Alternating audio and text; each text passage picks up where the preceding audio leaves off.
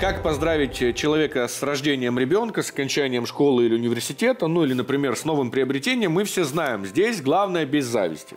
Да, вот как выразить сочувствие, этот вопрос сложнее. Сегодня разберемся а, в этом вопросе вместе с Надеждой Фалисеевой. А, психолог, коуч, гипнотерапевт. Сейчас на связи из Москвы э, с нашей студией. Здравствуйте.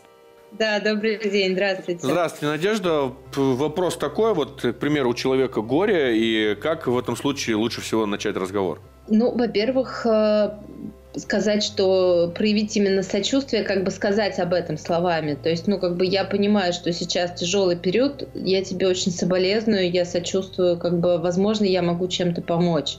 И здесь, на самом деле, вот ключевая, как бы, вот эта связка, когда вы сначала присоединяетесь к чувствам, вы понимаете, что что-то происходит, вы, как бы, ну, выражаете это понимание, а следующая э, ваша, как бы, связка должна быть, есть ли у человека запрос на то, что ему нужна какая-то помощь. Может быть, вы реально можете помочь. Вы если знаете, я, я слышала такое мнение, что вот если предлагаешь помощь в такой ситуации, когда э, человек в горе, то нужно предлагать какие-то конкретные вещи, потому что если вы расплывчато говорите, то ему переключиться и подумать о вас, да еще что вам, э, что вас попросить и когда это сделать, достаточно сложно, так ли это? Да, и то есть даже если человек говорит реально, вот я хотела как раз сказать, что скорее всего вам человек в таком состоянии ответит нет, мне вообще ничего не нужно, помощь не нужна, все вот так вот. Как бы, да, следующий шаг это как бы, ну, прямо в детали уходить. Послушай, может быть, я могу быть полезен вот это, я знаю, вот есть вот это, я знаю, есть вот то, я могу сделать вот это для тебя. Да, вот в такую конкретику, это очень важно прям, ну, как бы это прям поможет человеку, это, это человек человеку дает понять, что вы присоединяетесь, что вы в теме. Действительно, что вам интересно посочувствовать, как-то вовлечься в этот вопрос. Надежда, но вот все-таки Эльдар спросил, как начать разговор. Есть какие-то определенные слова? Вот мы встречаемся и говорит, здравствуй, и знаем, что этот человек, например, да, потерял близкого. Вот что нужно сказать? Как ты? Самое главное как слово это просто начать разговор, да, как ты, как вы, ну, соответственно, вообще как-то, я знаю, что тяжелые, ну, например, если вы действительно об этом знаете, то как бы, ну, я, можно прямо со слов, я знаю, что вот это произошло, как ты, как вы. И это самое главное, ну, то, по сути, человек отсылает как бы к его чувству, он что-то ответит, дальше вы присоединяетесь к его чувствам и говорите, я понимаю, да, это тяжело. И дальше как бы, ну, уже связка на помощь. Нужна ли помощь, и, может быть, я могу именно вот в этом помочь. Надежда, стоит ли говорить, что вы понимаете, как это, что у вас, ну, допустим, данная ситуация уже была? Я думаю, что совсем не обязательно, потому что, ну, на самом деле, как бы, с одной стороны, опыт ваш, может быть, человеку не так интересен. Может быть, на самом деле, для продолжения разговора потом, про помощь, если вы там, ну, как бы, про помощь пойдет разговор, вы можете сказать, вот я, как бы, ну, делал вот это, я знаю вот об этом.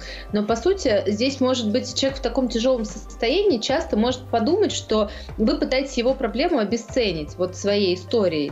Ну, типа, у меня вот было сложно, а вот вот у тебя, ну, как бы так. Или что-то подобное. Просто сложно спрогнозировать, как человек это воспримет. Может быть, ну, как бы болезненно. Поэтому, ну, я бы вообще вот такие личные истории здесь попридержала и э, на опыт личный бы не ссылалась. Можно ли обойтись без слов?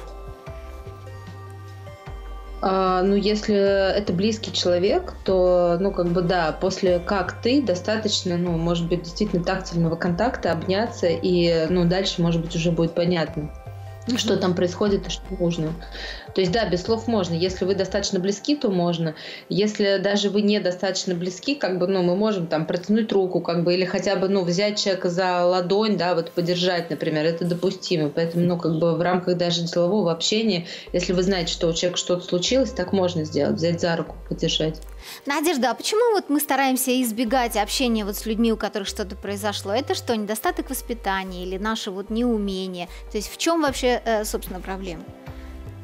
Я думаю, в страхе. Ну, по сути, в страхе, потому что нам страшно, э, страшно соприкасаться как бы с неприятным, страшно соприкасаться с горем обычно. Ну, и вообще нам, людям, всем свойственно как будто бы это на себя проецировать, что если у другого человека случилось, там, ну, вот нам страшно говорить про тяжелые болезни, неприятные, как бы вы наверняка сами на себе все вот чувствовали, что если у другого человека это есть, вот как бы про его тяжелую болезнь, прям тяжело говорить. Это про наш страх, потому что, ну, реально нам страшно, мы э, даже неосознанно начинаем это на себя проецировать, примерять, как будто это произошло с нами, а как бы мы поступили, если бы в этой ситуации. И, естественно, нам страшно. И вот в этом страхе как бы, ну, нам некомфортно. Я думаю, что это со страхом в первую очередь связано. Ну что ж, если подводить итоги, да, то что самое главное? Самое главное встретить человека, спросить, как он, а, может быть, угу. поддержать его, даже обнять. Ну общение только не давать никаких меру. советов и самое главное предложить помощь. И желательно предложить конкретную помощь, э, конкретно то, что, чем вы можете помочь. Да? Спасибо огромное. Спасибо огромное, Надежда, да. за рекомендации. Давай. Надеемся, что еще не одна встреча у нас с вами будет. Всего хорошего, берегите себя, будьте здоровы, самое главное. Передаем вам немножечко э, весны с Приднестровья в Москву. О, спасибо большое, да, а то у нас совсем холодно еще, да. Всего доброго. Ну а мы едем дальше, причем на двухколесном транспорте. Анета Шаповаленко решила узнать, э, как живется велосипедистам в общем транспортном потоке. Не обижает ли кто? Смотрим сюжет. Сюжет.